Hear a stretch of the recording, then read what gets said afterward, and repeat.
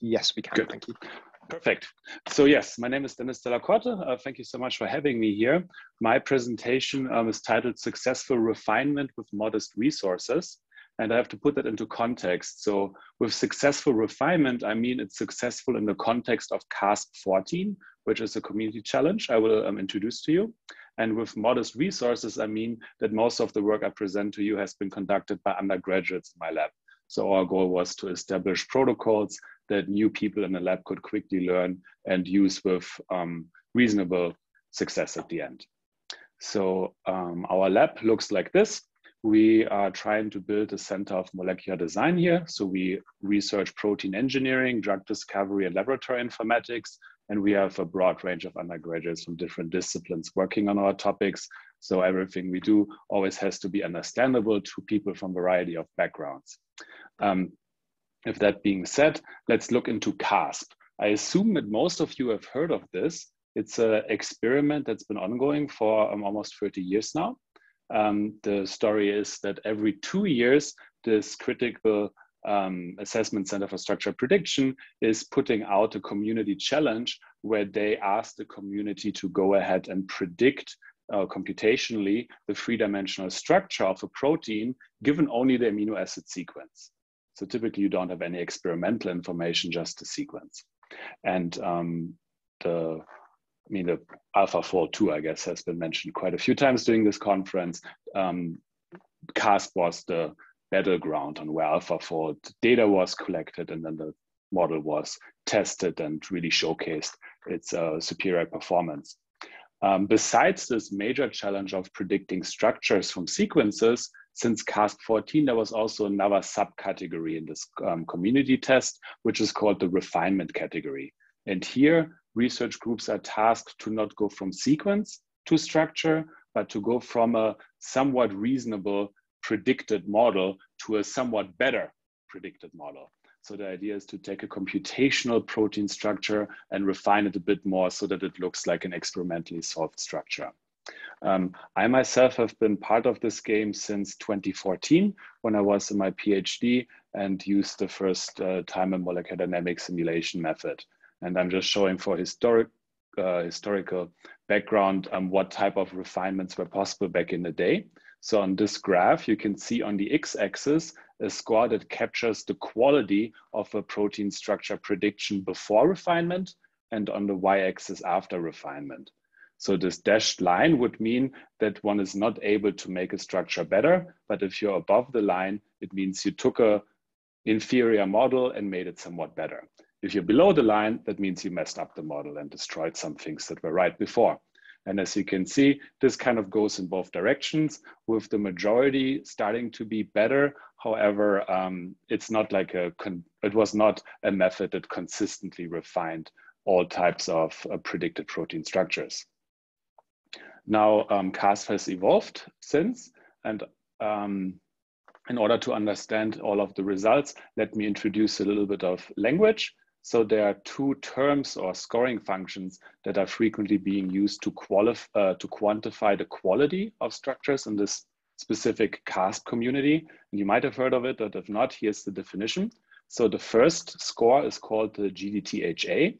That's a high accuracy score that takes a predicted protein structure and the experimental structure, overlaps them, and then calculates what fraction of C alpha atoms fall into a certain radius. And that is a single number that is kind of like an RMSD, but has a higher accuracy in calculating how similar two structures are and is not as susceptible to um, like domain changes that can mess up my RMSD a bit more. A different score that we use is called the LDDT. That's a local distance difference score. That one can again calculate the difference between an experimental structure and a um, predicted structure, but it doesn't require superposition. What you do is you calculate a distance network between heavy atoms. For example, for a given um, C alpha atom, you connect um, that one to all of the other heavy atoms that are within 15 angstrom of the experimental structure. And then you have this distance network. And then you calculate exactly the same distance network for the corresponding C alpha atom in your predicted structure. And then you take the difference between these distances. And um, when this difference between the distances falls under a certain threshold, then you call that that was a hit or a successfully positioned atom. And so that is a score that is now being used quite frequently. Um, also the AlphaFold 2, for example, uses that for internal assessment of their quality um, or confidence score predictions of um, the models. And the nice thing about the LDDT score is that it works on a residue per residue basis. So you don't only get one number for the whole protein, but you can effectively get a number for each heavy atom inside of your, um, inside of your model. Okay, so if we look at the most recent CASP, CASP 14, um, here are the refinement results. I think Dan Rigden gave a presentation yesterday, so you might have seen this. Um, what he uh, found is that only four groups from all the CASP participants, and this, there's a right tail to the distribution that I cut off, um, but only four of the groups that participated were able to refine predicted protein structures um, beyond um, where, they, where they started. So this pink bar is the starting model, everything to the left improved. Um, three of these top, um, top methods are based on molecular dynamics or MD. And um, I want to talk about those in more detail.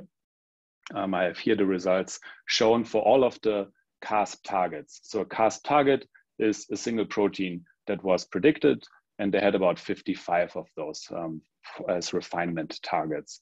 And for each one of them, we have again uh, quality of the target before it was refined and after it was refined. And you can see here the performance of the three different groups where um, these two groups are both led by the same PI called Michael Feig, who um, uses on one side, um, like his postdoc does a manual uh, pipeline, and then he also has a server set up that is automatically doing the refinement. Our group was this uh, undergraduate driven project. And what you can see when you look at the distribution of these points is that the red stars are a bit closer to the diagonal. So our method is a bit more um, conservative so we don't see a lot of fluctuation. When we make things better we make it a bit better. When we make it worse it's not a ton worse. But if you look into the blue and um, green uh, symbols they spread a lot further. That is due to the way the md simulations are being set up. So it's a bit more of an aggressive protocol that can give you higher yields um, but also potentially damages your model a bit more.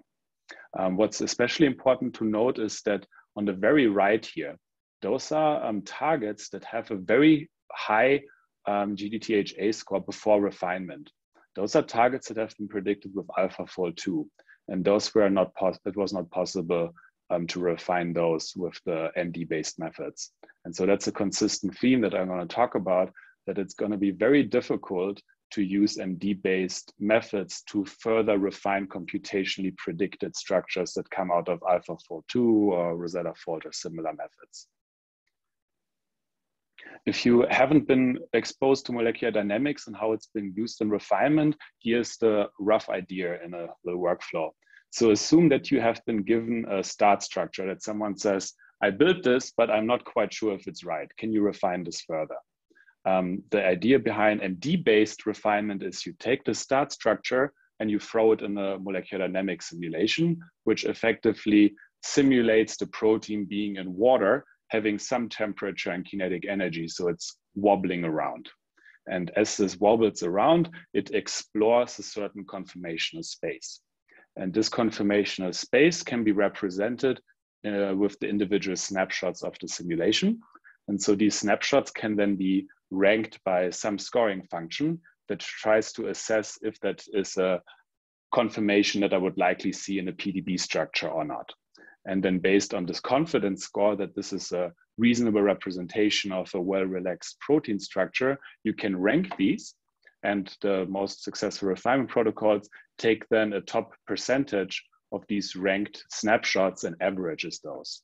And the finally average structure, that is then what we deem the refined structure, which hopefully is now a bit closer to what you would get out of an experiment compared to the start structure. So the different MD-based refinement methods that are out there, um, they have some things in common and some things are different about them. Here's an overview of the Feig method compared to the method that our lab uses. Um, I'm not going to go into all of the details, what's different between them. The only thing I want to point out is that they are both MD methods. They use the same logic with regards to setting up the simulations and conducting the um, the, the, like the time you use to equilibrate the system and before you actually start letting it wobble. That's all similar. And the final analysis of how you extract the frames from the MD simulation and how you rank them before you average them, that's also similar.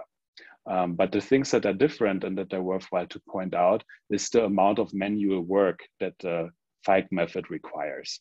So in order to improve um, from the start structure, it's not necessarily enough to just take the PDB structure that was given and throw that in the water in a simulation with water and let it wobble around, but you might want to do some smart tweaks. And so in their recent report, um, they have explained how they do that and they modify by saying, um, if I have a start structure, I don't necessarily have to restrain myself to the current conformation, but I can also look for homologous structures in the PDB that might have slightly different conformations. And then I can start a refinement protocol, not only from this one start state, but from various starting conformations. So that requires you know, homology search, finding different um, conformations, and then mapping a structure onto uh, a sequence onto an existing structure. So that's a manual step. Something else that they have tried is um, a manual insertion of potential um, binding ligands. So if you, for some reason, know that this specific protein is likely going to have a ligand, um, you can model it in there and try to run simulations with that ligand. Or if you know that this is a protein that likely lives in a complex, you can try to um, guess what that complex might look like based on the starting structure that you have. But all of this is kind of guesswork where you need a lot of um, expert knowledge and intuition that definitely exceeded the level of experience that the undergraduates at my lab had. So we didn't try to do anything of those fancy things. We just went ahead and said, let's just take the start model that we have and run MD simulations on it and see what comes out.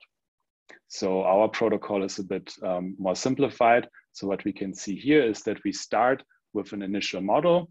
We always use the same number of simulations so one common strategy in MD is that instead of running, letting one protein wobble for a very long time, you rather run multiple short simulations um, because otherwise you might have um, rare events that drive your wobbling into a direction that is not um, statistically likely, but happen to have uh, happen to happen in this um, first time where you run the simulation. So by running multiple ones in parallel, you get better statistics.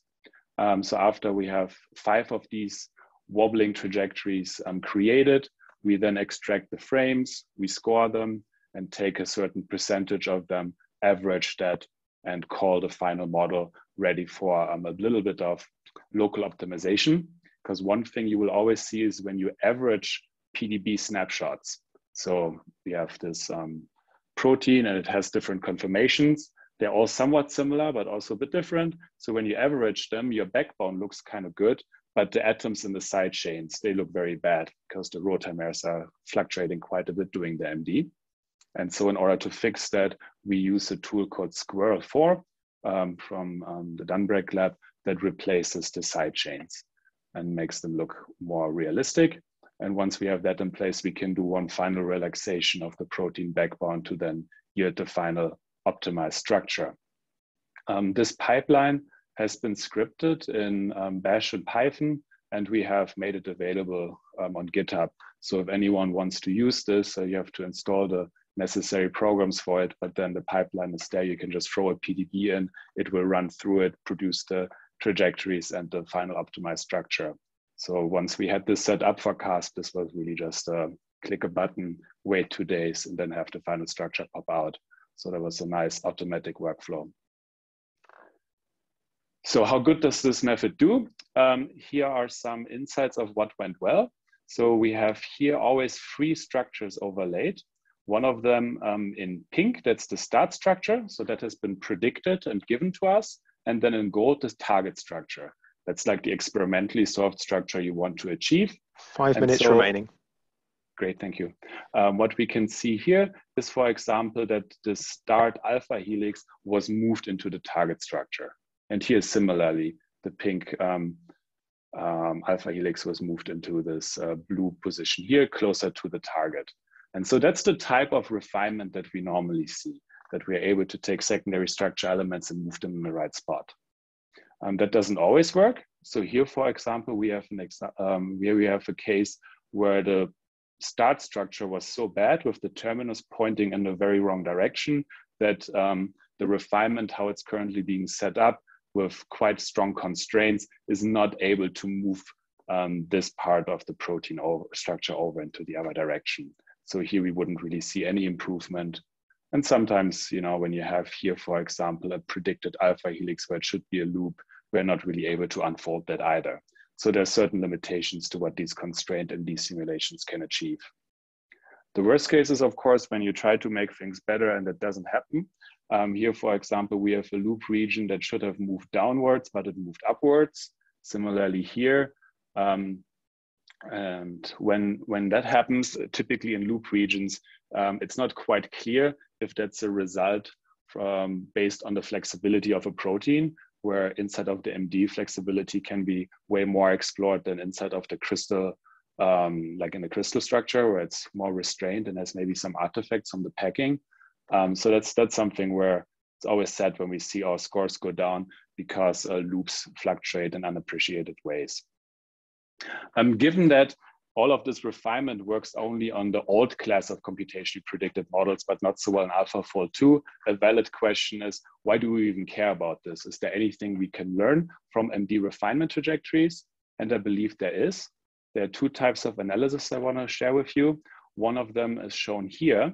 What we are displaying here is the correlation um, between two things. Let me introduce. The first one is when we take a start structure and then let it wobble around, we can calculate the difference between all the frames in the MD and the start structure.